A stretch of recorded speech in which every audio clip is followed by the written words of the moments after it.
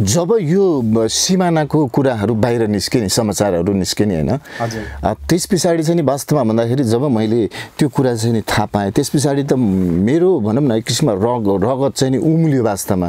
किन भन्दाखेरि कालापानी र लिपि लेक भन्ने त वास्तवमा हामी नेपालीकै हो होइन? पहिलेदेखि नै नेपालीको हो। तर पनि अब त्यो विषयलाई चाहिँ नि अब भनौँ न इन्डियाले चाहिँ नि एक्कासी चाहिँ नि आफ्नो नक्सामा चाहिँ नि पारेको जब समाचारहरू बाहिर आउन थाल्यो नि तब त भनौँ न मेरो त वास्तवमा यस्तो रगतै उम्ल्यो कि अनि मलाई नसोध कहाँ दुख्छ घाउ? मलाई नसोध कहाँ दुख्छ घाउ? म जे छु ठिकै छु। पिथो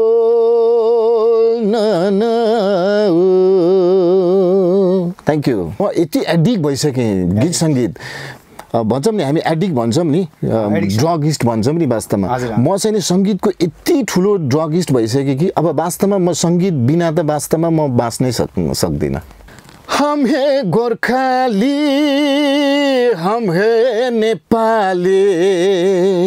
वतन के लिए मर सकते हम गोरखाली जो तूने किया वो गलत है।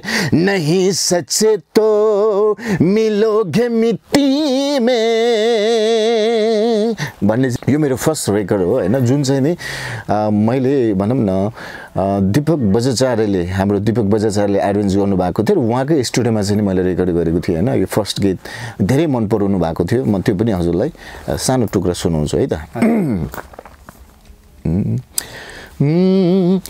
किन किन तिमी सपनीमा आउन थाल्यौ। यस्तो लाग्यो संसारै आफू नै लाग्न थाल्यो। थ्याङ्क यू ओ माया तिमीलाई म कति धेरै माया गर्छु नि। ओ माया तिमीलाई म कति धेरै माया गर्छु नि। जब तिमी सामु पर्छौ हेरु मात्र लाग्छ मलाई। जब तिमी बोल्न थाल्छौ सुनु मात्र लाग्छ मलाई। झोलाभरि सपना बोकी विदेशमा गए सोचे जस्तो छैन रहेछ विदेशको भूमि। यस्तो सञ्चालक दिलीप कुमार दिप्सन उपस्थित भइसकेको छु। र आज हाम्रो मेरो साथमा हुनुहुन्छ गायक तथा सङ्गीतकार उहाँ चिर परिचित अ, नेपालका हुनुहुन्छ उत्तम विक्रम विष्ट। म उहाँसँग कुराकानी गर्न गइरहेको छु। अन्त्यसम्म हेरेर साथ दिनुहोला। र म हाम्रो उत्तम विक्रम विष्ट सरलाई म स्वागत गर्न चाहे। स्वागत छ सर हजुरलाई। हस् थ्याङ्क यू भेरी मच आजभोलिका दिन के कसरी बिताउनु भएको छ? आज भोलिका दिनहरू पनि मेरो चाहिँ वास्तवमा भन्यो भने म्युजिकमै बितिरहेको छ। हजुर। हजुर। म्युजिकमै बिजी बिजी हुनुहुन्छ। म तपाईँलाई हल्का हजुरको बाल्यकालदेखि हजुरको जन्मठाउँदेखि अ, कुरा गर्न थालेँ। हजुरको छट्टु मिठो भनिदिनुहोस् न। म चाहिँ नि ललितपुरको चाहिँ नि इमाडोल भन्ने ठाउँमा जन्मेको हो होइन? र मेरो पुर्ख्यौली चाहिँ नि भन्नुपर्दाखेरि चाहिँ नि हामी चाहिँ नि कालीकोट होइन? कर्णालीको कालीकोटमा चाहिँ नि हाम्रो पुर्ख्यौली हुनुहुन्थ्यो र त्यहाँबाट चाहिँ नि हामी भनौँ न बिस्तारै बिस्तारै हुँदै हुँदै चाहिँ नि ललितपुरमा चाहिँ नि आइपुगेका हौँ। र मेरो चाहिँ नि बाल्यकाल मेरो जन्म चाहिँ नि ललितपुरमै भएको। हजुरलाई यो सङ्गीत गीत सङ्गीतमा लाग्ने प्रेरणा कति वर्षदेखि भएर कहिलेदेखि। यो गीत सङ्गीतमा म कसरी लागेँ भन्ने कुरा चाहिँ नि वास्तवमा जब म भनौँ न मैले आफू बुझ्न थालेँ नि बुझ्न थालिसके पछाडि त्यो बेलादेखि नै मलाई सङ्गीतले चाहिँ एक किसिमको एट्र्याक्सन गरिहाल्ने कि। भन्दाखेरि म चाहिँ नि बाल्यकालदेखि नै सङ्गीतमा चाहिँ नि एक किसिमबाट लागि परिरहेको छु अहिलेसम्म। बाल्यकाल भन्न बित्तिकै हजुरको बाल्यकालको आइडल गीत सङ्गीतका। मेरो बाल्यकालको आइडलहरू चाहिँ नेपालमा चाहिँ वास्तवमा म नारायण गोपाल होइन भक्तराज आचार्य होइन हाम्रो इभन ओम विक्रम विष्ट दाई विभिन्न हुनुहुन्छ स्रष्टाहरू उहाँको गानाहरू नै सुनेर चाहिँ नि भनौँ न एक किसिमबाट साङ्गीतिक क्षेत्रमा चाहिँ नि म अगाडि बढिरहेको हुँ वास्तवमा। उहाँहरू चाहिँ नि मेरो एक किसिमको यो साङ्गीतिक क्षेत्रमा एउटा गुरु नै मैले मान्छु वास्तवमा। हजुर बचपनमा हजुरले नारायण गोपालको गीत पनि गुनगुनाउँथ्यो होला। त्यति बाल बचपनको कुरा याद गर्ने बित्तिकै हजुरलाई म त्यति बेला तपाईँको त्यो बाल्यकालमा चलेका नारायण गोपालको गीत सानो टुक्रा गाउन सक्नुहुन्छ। गाइदिनुहोस् हजुर कष्ट गरिदिनुहोस्। हुन्छ हुन्छ हुन्छ। जस्तै हाम्रो नारायण गोपाल दाईको थुप्रै गीतहरू हुनु छ होइन? त्यसमध्ये पनि मैले विशेष गरेर उहाँको गाना एउटा गीत चाहिँ विशेष गुनगुने राख्छु। त्यो चाहिँ म हजुरलाई सुनाउन चाहन्छु है त।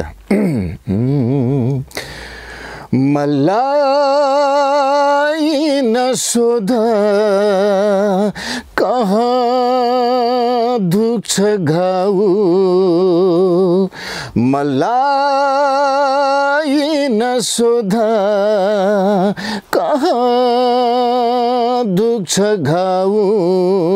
म जे छु ठिकै छु। पिथो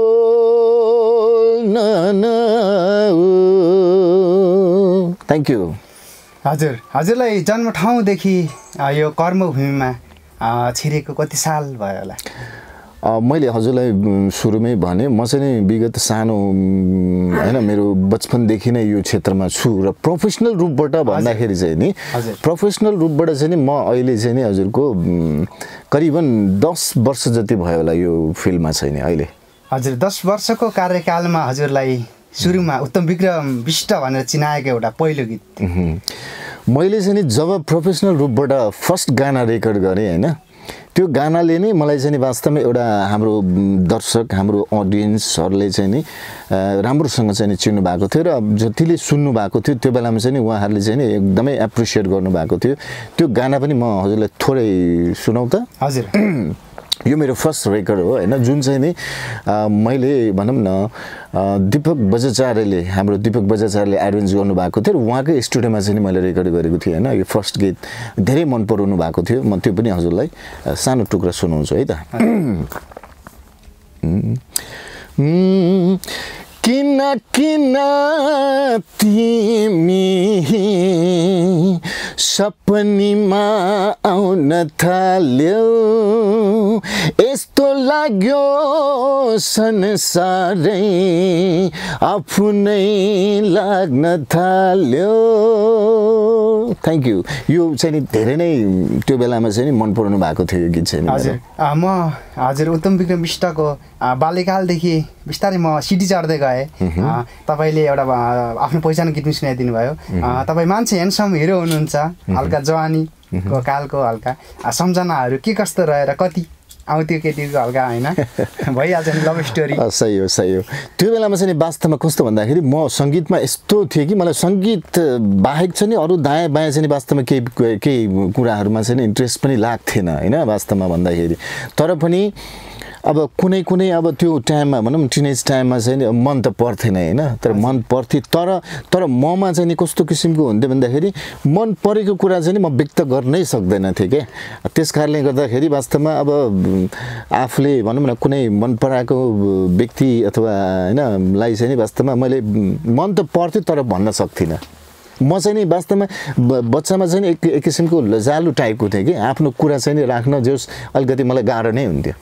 हजुर उत्तम विक्रम दाजुले त्यति भन्दा भन्दै हजुरको दाम्पत्य जीवन जुर्यो कति सालमा जिर्यो होला मेरो दाम्पत्य जीवन चाहिँ नि यो भयो होला दस पन्ध्र वर्ष भयो होला दुई हजार बाहन्न सालतिर चाहिँ नि मेरो दाम्पत्य जीवन चाहिँ सुरु भएको। हजुर उत्तम दा उत्तम दाजुको श्रीमती भाउजू भन्नु पऱ्यो होइन? उहाँको हल्का सम्झनामा फर्स्ट भेटमा हजुरले एउटा फिलिङ्समा हल्का जब बिहे भएको थिएन नि हजुरलाई हल्का गीतहरू गुनगुनाउँथ्यो होला गुनगुनाउनु हुन्थ्यो होला हजुरले होइन? त्यस बेला कस्तो कस्तो गीत आउँथ्यो त्यो बेला हल्का लभ सङहरू एउटा छोटो मिठो हालिदिनु पऱ्यो है। ठिक छ अब त्यो बेलामा चाहिँ नि मैले चाहिँ प्रायः जसो गीतहरू चाहिँ आफै पनि निर्माण गर्छु होइन। त्यो बेलामा चाहिँ नि मैले थुप्रो गीतहरू बनाएको थिएँ।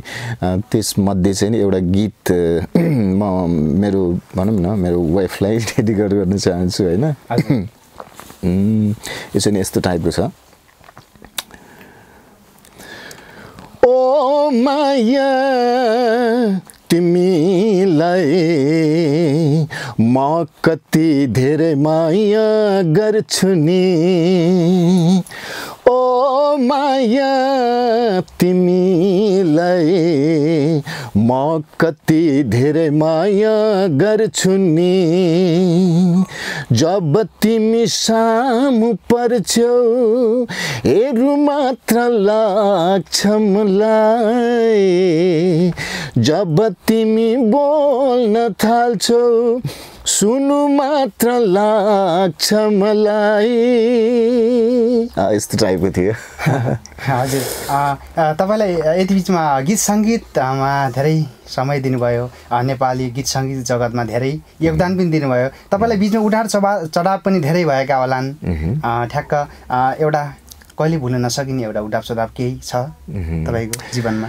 अब यो साङ्गीतिक क्षेत्रमा लाग्दाखेरि त डेफिनेटली सङ्घर्षको हरेक पलहरू होइन म मेरो लागि वास्तवमा एउटा ऊर्जाको रूपबाटै लिन्छन् होइन। मैले वास्तवमा यो म्युजिकमा धेरै नै धेरै नै स्ट्रगल गरेको छु वास्तवमा भन्दाखेरि होइन। किनकि त्यो प्रत्येक पलहरू नै मेरो लागि एउटा भनौँ न एउटा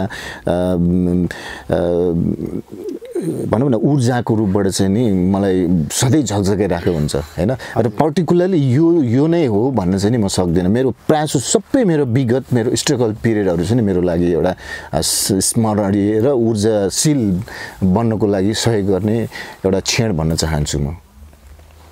हजुर। हजुरलाई अब गीत सङ्गीततिर एकदम धेरै दिनुभयो हजुरलाई। आगामी दिनसम्म पनि यही गीत सङ्गीतमै समय बिताउने डेफिनेटली मेरो त भनौँ न अब जबसम्म मेरो सास रहन्छ होइन तबसम्म चाहिँ नि मेरो सङ्गीतमा चाहिँ नि हर पल अगाडि बढिरहेको छ मेरो पाइलाहरू। हजुर ठ्याक्कै भन्नुपर्दा हजुरलाई गीत सङ्गीतको सामान्य भाषामा त भूत चरेको हो कि एउटा त्यो भूत भन्दाखेरि पनि म यति एडिक्ट भइसकेँ। गीत सङ्गीत। भन्छौँ नि हामी एडिक्ट भन्छौँ नि. ड्रगिस्ट भन्छौँ नि वास्तवमा।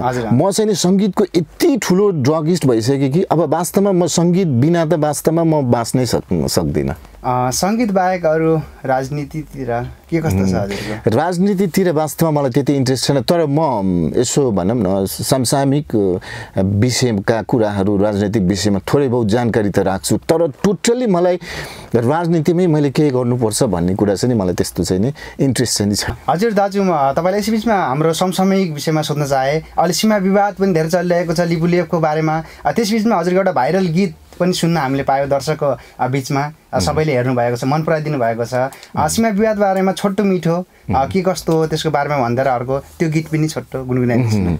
वास्तवमा जब यो सिमानाको कुराहरू बाहिर निस्के नि समाचारहरू निस्के नि होइन त्यस पछाडि चाहिँ नि वास्तवमा भन्दाखेरि जब मैले त्यो कुरा चाहिँ नि थाहा पाएँ त्यस पछाडि त मेरो भनौँ न एक किसिममा रग रगत चाहिँ नि उम्लियो वास्तवमा। किन भन्दाखेरि कालापानी र लिपि लेक भन्ने त वास्तवमा हामी नेपालीकै हो होइन? पहिलेदेखि नै नेपालीको हो। तर पनि अब त्यो विषयलाई चाहिँ नि अब भनौँ न इन्डियाले चाहिँ नि एक्कासी चाहिँ नि आफ्नो नक्सामा चाहिँ नि पारेको जब समाचारहरू बाहिर आउन थाल्यो नि तब त भनौँ न मेरो त वास्तवमा यस्तो रगतै उम्ल्यो कि अनि त्यो बेलामा सोचेँ मैले अब के गर्ने कसो गर्ने? अब आफू त सङ्गीत क्षेत्रको मान्छे होइन। केही छ सङ्गीतकै थ्रोबाट केही म्यासेजहरू थ्रो गरौँ भन्ने विषय लागेर चाहिँ मैले एउटा थोरै सानो उनीहरूकै भाषामा मैले बनाएको थिएँ होइन। वास्तवमा मलाई त्यो गीत सुन्ने पछाडि मेरो अडियन्सहरूले के पनि भएको थियो तपाईँले नेपालीमै गरेको हुन्थ्यो भन्नुभयो। तर मैले के भने नेपालीमा हामीले मैले गर्दाखेरि चाहिँ नि उहाँहरूले जसलाई सुनाउनु पर्ने उहाँहरूले नबुझ्ने हुनाले मैले त वास्तवमा इन्डियनहरूलाई सुनाउन खोजेको नि त उहाँले नबुझ्ने देखेर चाहिँ नि मैले उनीहरूकै भाषामा चाहिँ एउटा बनाएको थिएँ होइन त्यो सानो टुक्रो पनि म हजुरलाई सुनाउन चाहन्छु है त। यो यस्तो छ। हम हम है गोरखाली हम है नेपाली वतन के लिए मर सकते हम गोरखाली। जो तूने किया वो गलत है। नहीं सच्चे तो मिलोगे मिट्टी में। भन्ने चाहिँ नि एउटा भनौँ न उनीहरूलाई चाहिँ नि एउटा म्यासेज चाहिँ नि मैले थ्रो गरेको थिएँ हजुर वास्तवमा। समय समसामयिक विषयमा कुरा गर्दै गर्दा हजुरलाई कतिपय युवाहरू अहिले विदेश देश विदेशमा जाने अँ, कति उतैतिर गएर कति अपाङ्ग भएका छन् र कतिपय यहाँ युवाहरू विदेश जाने लहर पनि लाई लाइरहेको छ र हाम्रो देशको हालत एकदम गम्भीर छ सीमा विवाद चलिरहेको छ। हाम्रो देश विदेशका युवाहरूलाई एउटा गायक सङ्गीतकारको तर्फबाट तपाईँले के भन्नुहुन्छ? विदेशमा रहेको युवाहरूलाई देशको यस्तो हालत हुँदाखेरि। म जति पनि अहिले साथीभाइहरू चाहिँ विदेशमा हुनुहुन्छ होइन आफ्नो विभिन्न किसिमको परिस्थितिले गर्दाखेरि चाहिँ वास्तवमा नेपालको एउटा भनौँ न सिचुएसन एउटा कन्डिसनले गर्दाखेरि चाहिँ उहाँहरू विदेश हुन बाध्य भएको छ होइन। र भन्नुपर्दाखेरि चाहिँ उहाँहरूकै एउटा रेमिटेन्सको आधारमा चाहिँ नि हाम्रो नेपाली अर्थतन्त्रलाई पनि ठुलो सहयोग पुगेको छ वास्तवमा होइन। र अहिले जति पनि विदेशमा रहनुहुन्छ उहाँ साथीभाइहरूले चाहिँ के भन्न चाहनुहुन्छ भने तपाईँले पनि आफ्नो देशको सीमा भनौँ न जब मिचिरहेको छ त्यो त्यो विषयलाई चाहिँ नि तपाईँहरूले बाहिर रहेर पनि एक किसिमबाट चाहिँ नि भनौँ न आफ्नो एउटा समर्पण सम यो विषयको विरोधको चाहिँ नि एउटा आवाज चाहिँ नि दिलाउनु हुन नितान्त आवश्यक छ होइन? र यो कुराहरूलाई पनि हजुरहरूले चाहिँ नि एउटा भनौँ न अब विदेशमा रहेर पनि एउटा चाहिँ नि कुनै माध्यमबाट अहिले त सोसियल नेटवर्क त धेरै चाहिँ नि अगाडि छ नि त होइन? त्यस मार्फत नै चाहिँ नि यस विषयमा चाहिँ नि भनौँ न विरोध चाहिँ नि जनाउनु चाहिँ नि म हार्दिक हार्दिक अनुरोध गर्न चाहन्छु। हजुर। र त्यस्तै र त्यस्तै पऱ्यो भने चाहिँ नि भनौँ न यो सबै विदेशमा चाहिँ नि जति पनि रहनुभएको साथीहरूलाई चाहिँ नि फर्केर चाहिँ नि हाम्रो त्यो क्षेत्रलाई चाहिँ नि एनी हाउ जसरी हुन्छ हामीले नेपालमै ल्याउनुपर्छ भन्नु भन्न पनि म चाहन्छु। आज मेरो साथमा हुनुहुन्छ हाम्रा नेपालका चिर परिचित गायक तथा सङ्गीतकार उत्तम विक्रम विष्ट हुनुहुन्छ। उहाँलाई म कुराकानीमा एउटा सानो जोड्न चाहिहालेँ। हाम्रो देश गरिब छ। त्यसै गरिब देशमा पनि हाम्रा चिर परिचित अ, सङ्गीतकार गायककार पनि धेरै हुनुहुन्छ र हाम्रा देशका गरिब गरिब युवा अनि युवती यो गीत सङ्गीत र इच्छा आकाङ्क्षा भएका र प्रतिभा पनि भएका लुकेका तर ठाउँ नपाएका देखाउन सक्ने एउटा हैसियत पनि नभएका हैसियत भन्दा पनि एउटा आर्थिक स्थिति कमजोर भएका र ठाउँ यो अवसर पनि नपाएकालाई के कस्तो भन्नुहुन्छ? उत्तम विक्रम विष्ट दाजुलाई सोध्न चाहे। अब भनौँ न यो अहिले जति पनि हाम्रो यो नवप्रतिभा साथीभाइहरू हुनुहुन्छ होइन जो चाहिँ एउटा भनौँ न आफूसँग प्रतिभा हुँदा हुँदा पनि बाहिर एउटा भनौँ न मार्कमा चाहिँ आउन सक्नु भएको छैन। उहाँहरूलाई चाहिँ म के भन्न चाहन्छु भन्दाखेरि कुनै पनि फिल्डमा चाहिँ नि वास्तवमा एउटा धैर्यता भन्ने चाहिँ नि चाहिन्छ होइन। धैर्य गर्नुहोस् र कुन फिल्डमा तपाईँ लाग्दै हुनुहुन्छ त्यो विषयको त्यो फिल्डको विषयमा चाहिँ नि पूर्ण जानकारी हासिल गर्नुहोस् होइन? र निरन्तर चाहिँ नि तपाईँले त्यो फिल्डमा चाहिँ नि अग्रसर हुँदै जानुहोस् र निरन्तर अग्रसर भइसकेपछि कुनै न कुनै दिन चाहिँ नि तपाईँ एक किसिमबाट चाहिँ नि भनौँ न विभिन्न श्रोताहरू माझ चाहिँ नि आउनुहुन्छ। त्यसको लागि चाहिँ नि धैर्य चाहिँ नि नित्यन्त आवश्यक छ। र साथसाथै मैले अघि पनि हजुरलाई भने हजुर। र सम्बन्धित विषयमा आज म्युजिकमा लाग्नुहुन्छ भने म्युजिकको विषयमा चाहिँ नि विविध विविध जानकारी हासिल गरेर चाहिँ नि हजुरले चाहिँ नि यो फिल्डमा लाग्नुहुन्छ भने डेफिनेटली एक दिन न एक दिन तपाईँ चाहिँ नि वास्तवमा भनौँ न हामी विभिन्न किसिमको चाहिँ नि श्रोतामा चाहिँ नि आउन सक्नुहुन्छ। हजुर त्यस्ता प्रतिभा भएका तर अवसर नपाएका युवा युवतीहरूलाई हजुर वरिष्ठ गायक तथा सङ्गीतकार हुनुहुन्छ। हजुर तर्फबाट हेल्प डेफिनेटली जति पनि न नयाँ प्रतिभा साथीभाइहरूले यदि त्यस्तो अवसरहरू चाहनुहुन्छ भने होइन यदि उहाँहरूले सम्पर्क गर्नु भने मैले गर्न सक्ने होइन यो म्युजिकमा चाहिँ नि मैले गर्न सक्ने चाहिँ नि सहयोग चाहिँ नि मैले हर पल म गर्न तयार छु होइन? र यसै विषयमा चाहिँ नि मैले कुरा गर्दाखेरि मैले यसै सम्बन्धी होइन विभिन्न किसिमको भनौँ न एउटा रेकर्डिङ कुराहरू जस्तो लेखेर एरेन्जिङका कुराहरूदेखि लिएर कम्पोजिङका कुराहरूदेखि लिएर होइन ती कुराहरूको पनि मैले थोरै बहुत व्यवस्था गर्न सक्ने एउटा सक्षमता हासिल गरेको छु अहिले होइन? र यदि कसै चाहिँ नि एउटा नवप्रतिभा साथीभाइले चाहिँ नि मबाट हेल्प चाहनुहुन्छ भने डेफिनेटली म हरदम उहाँहरूको लागि गर्नको लागि तयार छु। हजुर यसै बिचमा उत्तम विक्रम दाजुसँग सानो गीतमा जोडिन्छ यो। हजुर सानो गीत। आहा, ठिकै छ। सङ्गीतमा। मेरो सङ्गीतमा त्यो पनि एउटा गीत मैले बनाएको थिएँ जुन धेरै धेरै मन पराउनु भएको थियो दर्शकहरूले होइन? त्यसरी मैले कस्तो भन्दाखेरि एउटा नेपाली समसामयिक विषयमै मैले गीत बनाएको थिएँ जुन चाहिँ नि एउटा हाम्रो नेपाली होइन दाजुभाइहरू चाहिँ नि विदेश जानुभएको विषयमा चाहिँ मैले एउटा गीत बनाएको थिएँ होइन? जुन गीत चाहिँ नि म हजुरहरूलाई सुनाउन चाहन्छु त्यो जुन गीत चाहिँ नि धेरै नै मन पराउनु भएको थियो हाम्रो श्रोता हाम्रो अडियन्सहरूले चाहिँ नि त्यो गीतको सानो अंश यहाँलाई सुनाउन चाहन्छु। हजुर। झोला भरि सपना बोकी विदेशमा गए। सोचे जस्तो छैन रहेछ विदेशको भूमि। यस्तो टाइपको थियो। यो चाहिँ नि फुल यो गीत हेर्नु चाहिँ नि हजुरले चाहिँ नि युट्युबमा गएर हेर्न सक्नुहुन्छ। हजुरलाई यो गीत सुन्ने बित्तिकै एउटा सानो प्रश्न सोध्न मन लाग्यो. यस्तो मार्मिक गानाहरू हजुरको सोचमा रचना गर्ने बेला कहाँबाट हल्का फिलिङ्स आउँछ हजुरलाई?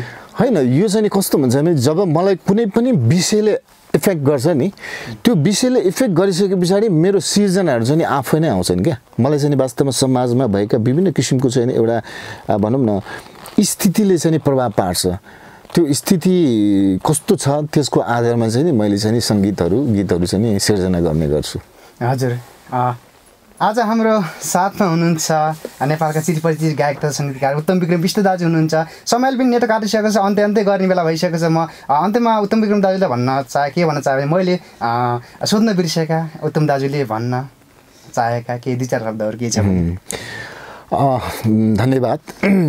तर हजुरले सोध्नु त सबै किसिमको कुराहरू सोध्नुभयो तर पनि लास्टमा अन्तमा के भन्न के भन्न चाहन्छु भने जति पनि अहिले हामीलाई हेरिरहनु भएका होइन दर्शकहरूले देश विदेशबाट होइन हेरिरहनु भएका सम्पूर्ण प्रिय दर्शक होइन अडियन्सहरूलाई चाहिँ म के भन्न चाहन्छु भन्दाखेरि हजुरहरूले चाहिँ वास्तवमा नेपाली गीत सङ्गीतलाई चाहिँ नि धेरै नै सपोर्ट गर्नुहोला होइन? किनकि नेपाली गीत सङ्गीत भनेको चाहिँ नि हाम्रो पहिचान हो होइन? यदि हाम्रो यो पहिचानलाई चाहिँ नि हजुरहरूले नै एउटा मार्गदर्शन एउटा सपोर्ट गर्नु भएन भने कसले गर्ने त वास्तवमा होइन? त्यसकारण नेपाली गीत सङ्गीतलाई हजुरहरूले चाहिँ नि सपोर्ट गर्नुहोला नेपाली विभिन्न कलाकारहरूलाई चाहिँ नि सपोर्ट गर्नुहोला भन्न चाहन्छु।